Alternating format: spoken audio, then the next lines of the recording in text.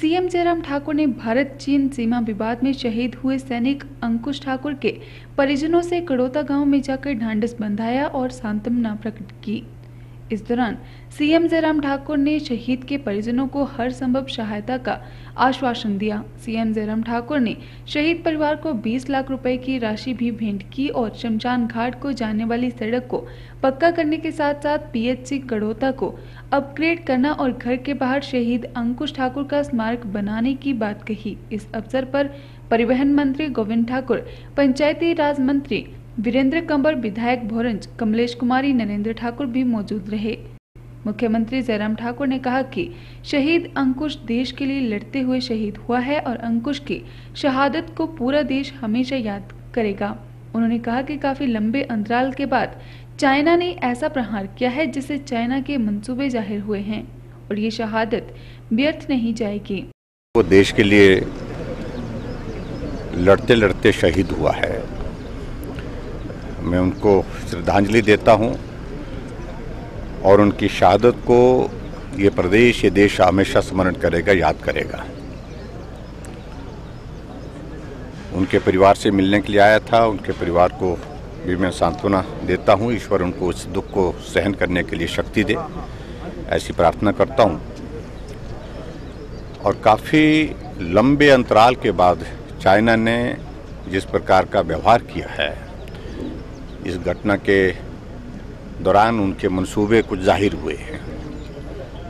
और जैसे हमारे आदरणीय प्रधानमंत्री नरेंद्र मोदी जी ने कहा है कि ये शहादत व्यर्थ नहीं जाएगी। और मैं उनके हर शब्दों पर मैं ही नहीं, पूरा देश विश्वास भी करता है।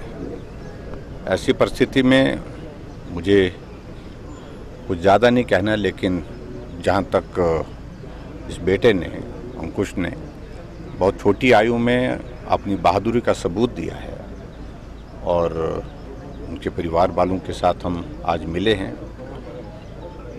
20 लाख रुपए हमारी सरकार का योगदान उनके लिए एक शहीद के नाते जो है वो दिया जाएगा। इसके अतिरिक्त यहाँ पर उनने एक बात कही है कि एक रास्ते की बात कही है।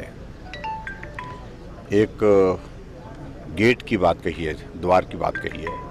इन दोनों को भी हम मंजूर करेंगे, दोनों के लिए जो भी पैसा लगेगा उसके लिए। मैंने कहा, डिप्टी कमिश्नर को वो उस सारी चीज़ को लेकर के एस्टिमेट बना करके तैयार करें और उसके बाद जितना पैसा लगेगा उतना पैसा उसमें देंगे, जो है यहाँ पर। तो इसको और ज़्यादा, उनने कहा कि इसको और स्ट्रेंथन करने की आवश्यकता है। ये लोगों की सेवा यहाँ पर जो है स्वास्थ्य की सुविधाओं के साथ अच्छी तरह से हो सके। उस दृष्टि से क्या किया जा सकता है, वो भी एक सुझाव उन्होंने दिया है, एक मांग की है, उस पर भी विचार करेंगे। लाहौल स्पीति और किन्नौर को प्रदेश सरकार ने हाई अलर्ट पर रखा है। हमीरपुर पहुँचे मुख्यमंत्री जयराम ठाकुर ने कहा कि प्रदेश के लोगों को चिंता करने की ज़रूरत नहीं है, लेकिन सतर्क रहने की आवश्यकता है। उन्होंने कहा कि शिमला में इस बाबत प्रदेश के पदाधिकारियों के साथ बैठक करके आगामी रणनीति तैयार की गई है, ताकि किसी भी स्थिति से निपटने के लिए तैयारी पूरी हो। उन्होंने कहा कि दो बार चाइना का हेलीकॉप्टर सीमा के अंदर घुस गया था, जिससे अब आने वाले समय में ऐसा न हो। सरकार तैयार है। इंटरनल कोऑर्डिनेशन के हिसाब से वो थी। हमारा स्टेट गवर्नमेंट का पूरा एडमिनिस्ट्रेशन हमारी पुलिस फोर्स आर्मी के साथ जो है वो पूरी तरह से कोऑर्डिनेशन में रहे, ये बहुत ज़रूरी होता है ऐसे ऐसे क्षण में। और दोनों जिला में, लाहौल स्पीति और किन्नौर में हमने हाई अलर्ट पर सारे एडमिनिस्ट्रेशन को रखा है। हालाँकि चिंता की कोई बात नहीं लेकिन इस प्रकार से कुछ आइसोलेटेड इंसिडेंट्स बीच में हुए थे जिसमें दो बार चाइना का हेलीकॉप्टर हिमाचल की सीमा में किन्नौर जिला में प्रवेश किया था। उसकी जानकारी हमने डिफेंस मिनिस्ट्री को भी दी है एमएचए को मिनिस्ट्री ऑफ़ होम अफेयर्स के वहाँ पर भी दी है। और मैं समझता हूँ कि ऐसा आ, कोई बड़ा आ, हमारे लिए चिंता का विषय ज़रूर नहीं लेकिन हमको सतर्क रहने की जो ज़रूरत है उस दृष्टि से ही बैठक थी।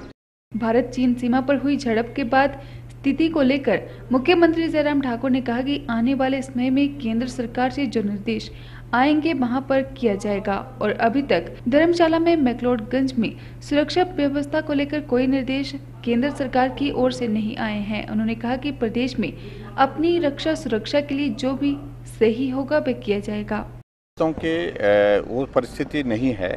ये इंसिडेंट जो हुआ है, वो अलग तरह की इसमें इसकी रिव्यू भी हमारे केंद्र सरकार ने प्रधानमंत्री जी ने डिफेंस मिनिस्टर और होम मिनिस्टर के साथ बहुत विस्तार से किया है। लेकिन उसके बावजूद आने वाले समय में जो भी हमको दिशा निर्देश होंगे केंद्र सरकार की ओर से और ऐसे में हम निश्चित रूप से अपनी रक्षा सुरक्षा के लिए जो भी आवश्यक होगा वो करेंगे। जहाँ तक मकलोडगंज की बात है आ, मुझे लगता है कि अभी फ़िलहाल उस सारी चीज़ को लेकर के अभी आ, इस तरह का कोई विषय ज़्यादा चिंता का नहीं है। कांग्रेस के द्वारा देश के पड़ोसी देशों के साथ संबंधों में दरार पड़ने के बयानों पर मुख्यमंत्री जयराम ठाकुर ने कहा कि ऐसे संकट के क्षण अभी नहीं है और कांग्रेस को राजनीति नहीं करनी चाहिए। और कांग्रेस को चाहिए कि देश के साथ मिलकर दुश्मन का सामना करे, न कि ऐसी घड़ी में इस तरह की बयानबाजी करके राजनीति करे। मुझे लगता है कि ऐसे संकट के क्षण में राजनीतिक प्रश्न उनको नहीं खड़ा करना चाहिए। देश की ज़रूरत है मिलकर के इकट्ठा चले। देश की ज़रूरत है कि मिलकर के दुश्मनों का सामना करें। और वही इस वक्त करना चाहिए, वही आदरणीय प्रधानमंत्री जी कर रहे हैं।